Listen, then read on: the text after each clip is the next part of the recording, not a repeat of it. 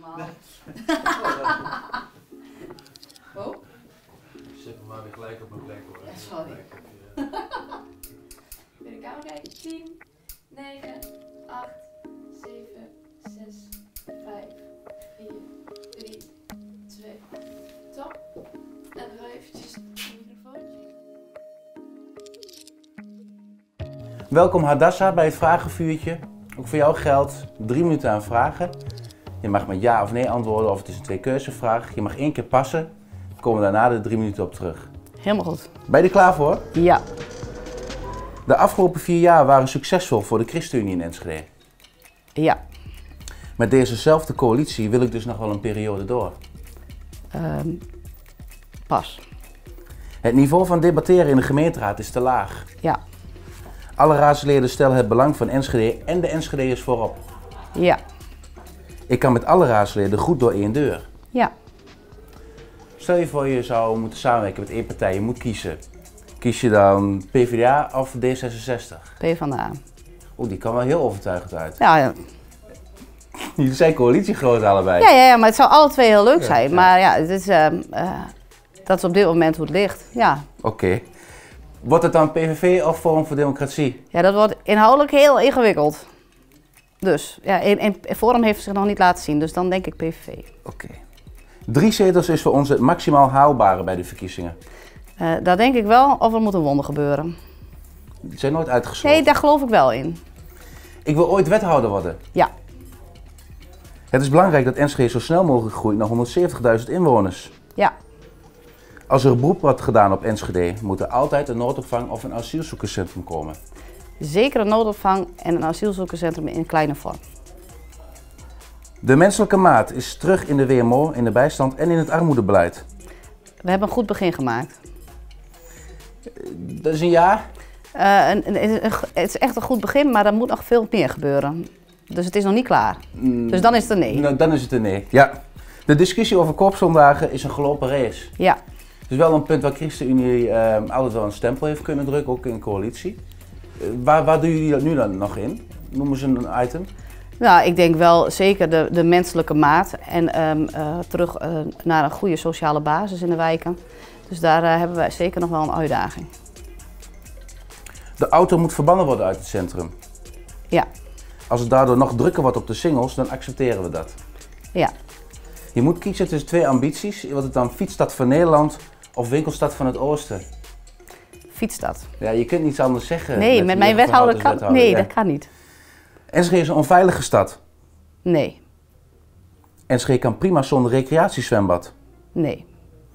De energietransitie is het belangrijkste thema van de komende vier jaar. Ik ben er bang voor. Ja? Ja, Het is een schande dat Enschede nog geen windmolen heeft. ja. Dankzij ons afvalbeleid is het een puinhoop in de stad. Ja en nee.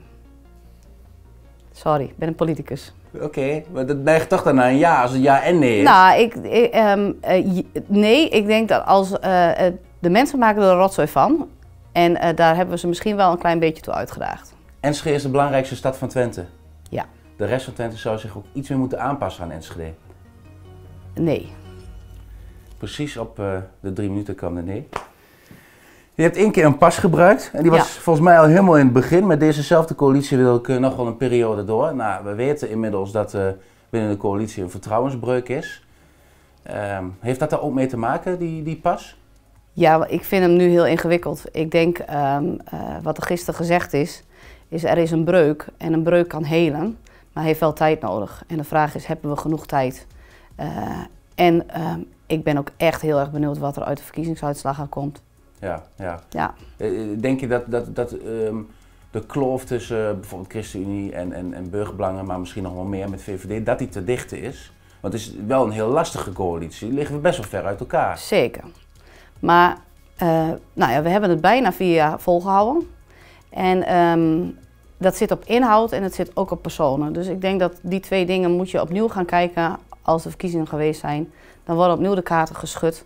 En, ehm, nou, en vanaf nu is het volgens mij de zoektocht naar met elkaar helen. Zijn er nog vragen waar je op terug wil komen waarvan je denkt van nou, dat, daar wil ik wel iets meer over uitleggen? Ehm, Ja, dat zijn er zoveel geweest dat ik het zo even niet voor de geest kan halen. Maar had jij er nog één? Nou, ik vond die van een fietsstad eh, ook wel een leuke. Ja, Ehm nou, winkelstad is toch hartstikke belangrijk ook voor NSG.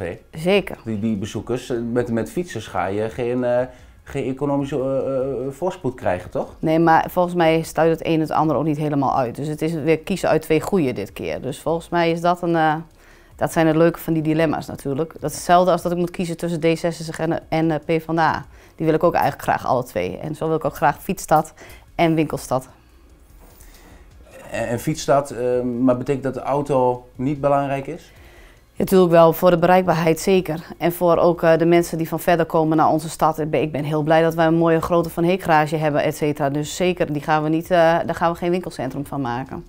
Je geeft mooie korte antwoorden. Dan wil ik nog een allerlaatste vraag. Je, je zei, bij, ik wil ooit wethouder worden, ook direct ja. Nu is Jurgen Ja. natuurlijk, Jurgen van Hout, de huidige wethouder, die wil volgens mij ook nog wel een periode door. Zeker. Maar ik, ik proef hier de ambitie van een to- toekomstige wethouder. Nou ja, de ambitie is er. Kijk, het is, ehm, politiek is altijd heel ingewikkeld. Dus dit moet je altijd eh, aan de ene kant voorzichtig mee zijn om dit te zeggen. En ehm, ik ben echt van overtuigd dat het nu de tijd van Jurgen is. En ik hoop dat mijn tijd ooit komt. Want ik heb wel een visie op deze stad. En ik wil ook heel graag mij eh, daarvoor inzetten. En dat doe ik nu heel erg graag als lijsttrekker.